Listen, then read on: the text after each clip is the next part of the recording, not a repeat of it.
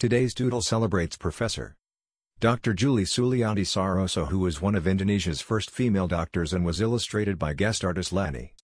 Dr. Saroso dedicated her life to helping vulnerable communities access quality healthcare. Sulianti Saroso was born on this day in 1917 in Karangasem, Bali. Her father was a doctor and inspired her interest in medicine at a young age.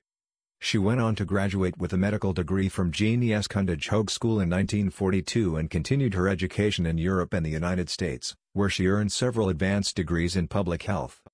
Dr. Saroso also received a World Health Organization WHO, scholarship to study maternal and child healthcare systems across Europe. When she returned to Indonesia in 1952, she helped bring birth control and family planning education to her homeland.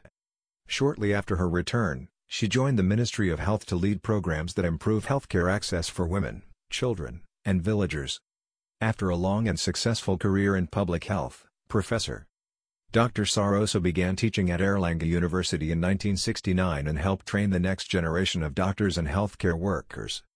Happy 106th birthday, Professor Dr. Julie Sulianti Saroso. Your unwavering commitment to healthcare equity changed the course of medicine in Indonesia.